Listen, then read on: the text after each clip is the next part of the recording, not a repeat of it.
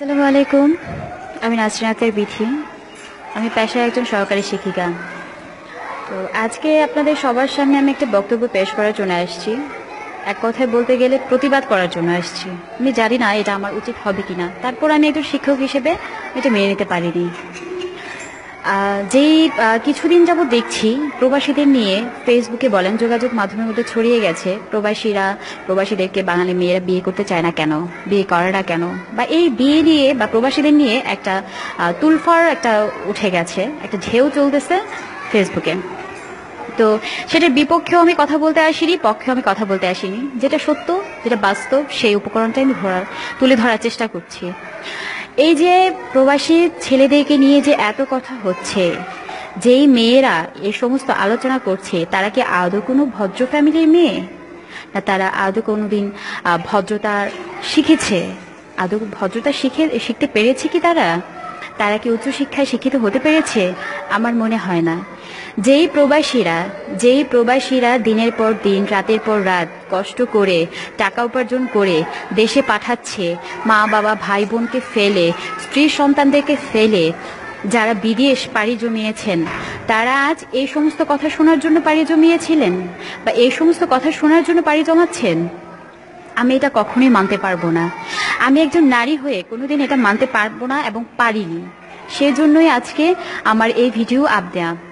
যেটা হচ্ছে, একজন পুরুষ, তার স্ত্রী, তার সন্তান, তার মা, বাবা, ভাই, বোন, পাড়া প্রতিবেশী, আত্মীয় স্বজন নিয়ে কাছে থাকতে চায়, সেই পুরুষ দিনের পর দিন, বছরের পর বছর এমনও সময় চলে যায় তাদের যে তারা বৃদ্ধ বয়সেও এই দেশের বাইরে থাকে, প্রবাসে থাকে। কেন থাকে জানেন? তারা তাদের একমুঠো ভাত ভালো করে যাতে খেতে পারে, পড়তে পারে, সুন্দর করে চলতে পারে, তাদের ফ্যামিলি জানে সুন্দরভাবে চলতে পারে সেই জন্য তারা প্রবাসে পাড়ি জমিয়েছেন। সেটা কি তাদের দোষ? সেটা কি তাদের অপরাধ? যে সমস্ত মেয়েরা এগুলো বলে বেড়াচ্ছে, যে প্রবাসী ছেলেরা ছেলেদেরকে তারা বিয়ে করে না, তারা বিয়ে করবে না, কেন?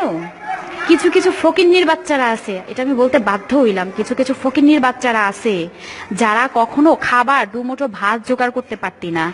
জীবনে ভাত খাওয়ার মতো যোগ্যতাও তোদের ছিল না, কামাই রোজগার করার মতো কেউ ছিল না, বা নাই। সেই ফকিন্নির বাচ্চাদেরকে কিন্তু আজকে তালেবর বানাই দিছে প্রবাসীরা। ঠিক আছে? এই প্রবাসীরা তালেবর বানাই দিছে। যেটা হয়েছে আমার মনে হচ্ছিল এ কথাগুলো বলা অতীব জরুরি। সেজন্য আমি আজকে এ কথাগুলো বলছি। আমি জানি না এটা আমার ভালো কিনা মন্দ। তবে আমি প্রতিবাদী। আমি বিশ্বাস করি যে প্রতিবাদ করা আমার একান্তই কর্তব্য। আমি একজন মেয়ে হয়ে আরেকজন মেয়েকে ছোট করছি না। আমি কোনো মা হয়ে আরেকজন মাকে ছোট করছি না। আমি একজন বোন হয়ে আরেকজন বোনকে ছোট করতে চাচ্ছি না। কিন্তু আমি এটাও মানতে পারিনি। প্রবাসীদের নিয়ে যে এত কথা হচ্ছিল সে কথাটা আমার মধ্যে খুব খারাপ লেগেছে। আমার শুনতেও খারাপ লাগছে। যেই প্রবাসীদের জন্য আজকে মেয়েরা পায়ের উপর পা তুলে খায় এবং আজকে বিয়ে হলে কালকেই বলে, আমি ফ্ল্যাট আমাকে ফ্ল্যাট কিনে দাও, আমাকে বাড়ি করে দাও, আমাকে গাড়ি করে দাও, আমাকে মোবাইল দাও, আমাকে দামি ড্রেস দাও। আরে ব্র্যান্ডের ব্র্যান্ডের দামি ড্রেস আর ভালো ভালো, দামি হাই সোসাইটিতে চলা এবং দামি দামি সেট ইউজ করা মোবাইল সেট ইউজ করতেছস, কার কারণে ইউজ করতেছস, এ প্রবাসীদের কারণে ইউজ করতেছস। এই বাংলাদেশের প্রেক্ষাপটে, আজকে আমি একজন সরকারি চাকরিজীবী, বাংলাদেশের প্রেক্ষাপটে কয়জন পুরুষ আছে যে তাদের স্ত্রীদের তাদের চাহিদা মতো চালাতে পারে? একমাত্র প্রবাসীরা আছে। একমাত্র প্রবাসীরাই আছে যারা তাদের বউদেরকে উন্নত জীবন দান করেন, উন্নত জীবন দিয়ে রাখেন। এবং সেই প্রবাসীরাই ঠকেন। তাদের বউরাই স্বর্ণ অলঙ্কার নিয়ে পালায় চলে যায়। এজনের হাত ধরে ওজনের হাত ধরে ছেলে মেয়ে ফালাইয়া এভাবে চলে যায়। আমি আসলে এটা মানতে পারিনি। কেন মানতে কেন মানতে পারিনি জানেন? আমি কুমিল্লা ডিস্ট্রিক্টের। আমার কুমিল্লা, আমি কুমিল্লা জেলার। আমার কুমিল্লা জেলার মধ্যে দেখা গেছে যে অধিকাংশ পুরুষ মানুষই দেশের বাইরে থাকে। অধিকাংশ মানুষই বিদেশে পাড়ি জমিয়েছেন। তাই বলে কি তারা বিদেশে পাড়ি জমিয়েছেন বলে কি তাদের অন্যায়, তাদের দোষ? আমি এটা মানতে পারলাম না। এবং আমি সেই সমস্ত মেয়েদেরকে বলছি, যে সমস্ত জন্মের দোষ আছে। সেই সমস্ত মেয়েদের জন্মের দোষ আছে। ঠিক আছে? এই যে তিন চারটা মেয়ের জন্য হাজার হাজার মেয়েকে এত কথা শুনতে হচ্ছে, কেন? আমাদের কি দোষ? কিছু কিছু মেয়েরা খারাপ কাজ করে, বাকি দোষগুলো পড়ে আমাদের মতো সাধারণ মেয়েদের উপর কেন পড়বে? একটা মেয়েকে বলা মানে আরেকটা মেয়ের উপর লাগা, একটা নারীকে বলা মানে আরেকটা নারীর কষ্ট লাগা। এটাই তো স্বাভাবিক, এটাই তো হওয়া উচিত। কিন্তু আজকে আমার খুব খারাপ লেগেছে এটা, যে প্রবাসীরা, প্রবাসীদেরকে নিয়ে যে কথা হচ্ছিল, যে প্রবাসীরা কখনো ভালো বাংলাদেশের মেয়েরা প্রবাসীদের পছন্দ করে না, বাংলাদেশের মেয়েরা প্রবাসীদের বিয়ে করতে চায় না, কেন করবে না? আরে আজকে যদি একটা প্রপোজ আসে যে তুমি কি একটা ছেলেকে বিয়ে করবে, সে দেশের বাইরে থাকছে সিটিজেনশিপ ওমা সে তো দৌড়াই আসবে হ্যাঁ আব্বু আমি বিয়ে করব, কেন না? কেন সে এই জন্য বিয়ে করতে চাচ্ছে যে সে তার সাথে দেশে বাইরে যেতে পারবে, ঘুরতে পারবে, আনন্দ করতে পারবে, ফুর্তি করতে পারবে, ভালোভাবে জীবনযাপন করতে পারবে? আমার চোখের দেখা। বাস্তব যে কথাগুলো আমি বলছি, এগুলো হয়তো অনেকের কাছে ভালো লাগবে না। কিন্তু আমার কিছু করার ছিল না। আমি তো সহ্য করতে পারিনি। যে প্রবাসী ভাইরা রাতের পর রাত, দিনের পর দিন কষ্ট করছে, যে কষ্ট করে আপনাদের জন্য দেশে টাকা, পয়সা উপার্জন করে পাঠাচ্ছেন, একবার কি চিন্তা করেছেন? কীভাবে পাঠাচ্ছেন? কীভাবে দিচ্ছেন? এটা চিন্তা কখনোই করেননি। ঈদ আসলে ঈদ শপিং করব ব্যালেন্স দাও, টাকা দাও, আমি এভাবে করব, ওইভাবে করব, লাখ লাখ টাকা উড়াচ্ছেন, কার উড়াচ্ছেন? সে প্রবাসী ভাইদের। আরে ফকিন্নির মেয়েরা, ভাত খাওয়ার উপযুক্ত ছিলি না। ভাত খাইতে খাবি যে, সে প্লেটটাও তোদের ছিল না। কিছু কিছু ফ্যামিলি আছে যে ফ্যামিলির মেয়েরা মানে কি কি বলব?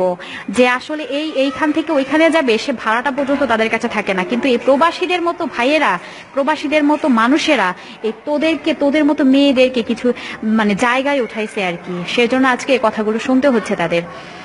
তবে আমি এটুকুই বলব যে, আসলে আমি কাউকে ছোট করে কথা বলছি না। হায় প্রতিপন্ন করে কথা বলছি না, কিন্তু আমার শুনতে খুবই খারাপ লেগেছে যে প্রবাসীদের নিয়ে এই সমস্ত কথা হচ্ছিল। আমি এটা আসলে মানতে পারিনি। আমি জানি না আজকে এ ভিডিও করার পর আপনাদের মনে কি আসবে। আসলে আমার খুব খারাপ লেগেছিল। এই প্রবাসীরা দিনের পর দিন, ঘণ্টার পর ঘণ্টা সেকেন্ডে সেকেন্ডে কষ্ট করছে। কাদের জন্য করছে? এই বাংলাদেশে তাদের মা, ভাই, বোনকে, স্বামী এবং তাদের স্ত্রীদেরকে, তাদের সন্তানদেরকে ফেলে গিয়েছে। সেই জন্য তাদের জন্যই কষ্ট করছে। তাদেরকে রোজগার করে খাওয়ানোর জন্যই কষ্ট করছে। উপার্জন তাদের জন্যই করছে। আর সেই মেয়েরা আজকে বলছে যে প্রবাসীদের বিয়ে করতে হয় না। প্রবাসী, প্রবাসীদের বিয়ে করলে আসলে মেয়েরা কষ্ট পায়, হ্যান ত্যান। এগুলো কোনো কথা? এগুলো কোনো ভালো বংশের মেয়েদের কথা? আমার মনে হয় না। কখনো কোনো ভদ্রতা, কোনো নম্রতা, কোনো কি বলব, যে শিক্ষিত ফ্যামিলির মেয়েরা কখনোই এগুলো বলতে পারবে না এবং তাদের মুখ দিয়ে কখনোই এটা আসবে না। আমি তো এটা মানতেই পারছি না। যে প্রবাসীরা এত কষ্ট করছে, দিনের পর দিন, ঘণ্টার পর ঘণ্টা এত কষ্ট করছে, কাদের জন্য? আরে, দুইটা টাকার জন্য ভিক্ষা পর্যন্ত মানুষ করে, দুইটা পয়সার জন্য ভিক্ষা মানুষ পর্যন্ত করে। ব্র্যান্ডের শাড়ি, ব্র্যান্ডের গেঞ্জি, ব্র্যান্ডের টি শার্ট ব্র্যান্ডের প্যান্ট, ব্র্যান্ডের আর কি বলব, যে মোবাইল সেট, এগুলো ইউজ করতেছিস কার জন্য জানোস? একমাত্র প্রবাসীদের জন্য। আরে দশ হাজার, বিশ হাজার, পঁচিশ হাজার তোদের কাছে কোনো ব্যাপারই না।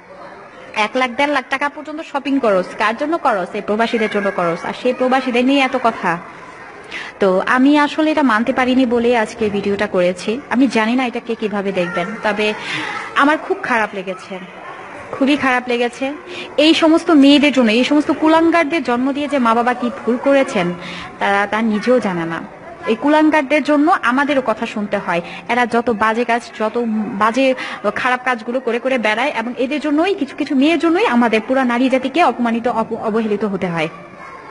যে প্রবাসীরা যে প্রবাসীরা বিয়ে করে বউ রেখে যাচ্ছেন, দেশে রেখে যাওয়ার পর থেকে হাজার হাজার লাখ লাখ টাকা দিচ্ছেন, সেই প্রবাসীদের বউরাই ভেঙে যাচ্ছে। এই যে এত নিউজ দেখা যাচ্ছে, কিছুদিন পর পর দেখা যায় ফেসবুকে একটা ঢেউ উঠে যায়, একটা ঝড় তুফানের মতো হয়, শুরু হয়ে যায়, যে প্রবাসীর এই প্রবাসীর বউ আরেকজনের সাথে চলে গেছে এইজন টাকা নিয়ে চলে গেছে, স্বর্ণ নিয়ে চলে গেছে, বাচ্চা কাচ্চা সন্তানাদি ফেলে চলে গেছেন, এটা হরহর হচ্ছে। বাস্তবতা এটা। এটা বাস্তব স্বীকার করতে হবে, এটা হচ্ছে। এবং এই প্রবাসীদের ভাইদের সাথেই হচ্ছে। তোরা যে দিনের পর দিন এই প্রবাসীদের ঠকাচ্ছিস, প্রবাসীদের সাথে মেলামেশা করছিস, তাদের সংসার করছিস, তোদেরকে এক বিন্দু লজ্জা লাগে না? লজ্জা আছে তোদের? তোদের মতো মেয়েদেরকে আসলে নারী হিসেবে মানতে আমার লজ্জা লাগছে। আসলেই লজ্জা লাগছে। আমার কাছে আসলে অনেক কষ্ট লাগছে। যে দিনে একটা দিন মা বাবাকে না দেখলে কত কষ্ট হয়। সেই মানুষেরাই, আমাদের মতো মানুষেরাই দিনের পর দিন, ঘণ্টার পর ঘণ্টা, বছরকে বছর কাটিয়ে দেয়। আত্মীয় স্বজন ছাড়া অন্য একটা রাষ্ট্রে যেয়ে কত কষ্ট করে বাঙালিরা বাঙালিরা অনেক জায়গায় অবহেলিত। কত কষ্ট করতেছে। শুধু এই বাঙালি বাংলাদেশে রেখে যাওয়া বউ, বাচ্চা, মা, সন্তান এবং আত্মীয় স্বজনের জন্য। আর তাদের কিনা এইভাবে অপমান? আসলে এটা আমি মানতে পারিনি। আমি জানি না আজকে আমার এই কথাগুলো কার ভালো লাগবে, কার মন্দ লাগবে, কে কি বলবে, না বলবে। কিন্তু আসলে আমি এটা মানতে পারিনি। এটা আমার আমার পক্ষে মানা সম্ভব হয়নি। তো আমি আপনাদের সবার কাছে ক্ষমা চেয়ে নিচ্ছি। যে আসলে আমি আজকে এই ভিডিওটা আপ দিতাম না। আপলোড দেওয়ার কোনো ইচ্ছা আমার ছিল না। কিন্তু আসলে আমি বাস্তবতাটা থেকেই কথাগুলো বলেছি। আমি জানি না আপনাদের কেমন লাগবে বা কেমন লেগেছে। আমাকে সবাই ক্ষমার দৃষ্টিতে দেখবেন। আমি আপনাদের সবার কাছেই ক্ষমা চেয়ে নিচ্ছি। কারণ এই এই সমস্ত কথা বলা আসলে আমার আমার উচিত ছিল না। কিন্তু আমি বুঝতে পারিনি এবং আমি সহ্যও করতে পারিনি। তো যে প্রবাসী ভাইরা আছেন, দেশের বাইরে আছেন, তাদের জন্য আমার অন্ত অন্তঃস্থল থেকে তাদের জন্য আমার দোয়া রইল শুভ কামনা রইল। আপনারা অনেক ভালো থাকবেন, অনেক সুস্থ থাকবেন। এবং কে কি বলল, না বলল, এটা নিয়ে কখনো চিন্তা করবেন না, কারণ জীবনটাই হচ্ছে একটা যুদ্ধক্ষেত্র। এখানে যুদ্ধ করতেই হবে, এখানে সমালোচকরা থাকবে সমালোচনা করার জন্য। সমালোচকরা সমালোচনা করার জন্যই পিছনে পিছনে ঘুরে। অর্থাৎ তাদের সমালোচনা শুনে যদি আপনারা স্তব্ধ হয়ে যান, মন খারাপ করেন, কষ্ট পান, তাহলে তো জীবনে চলতে পারবেন না, এগোতে পারবেন না। আমি আমার পক্ষ থেকে আপনাদের সবাইকে জানাচ্ছি অকৃত্রিম ভালোবাসা এবং সবার প্রতি রইল আমার অনেক দোয়া এবং শুভকামনা। সবাই ভালো থাকবেন। আল্লাহ হাফেজ।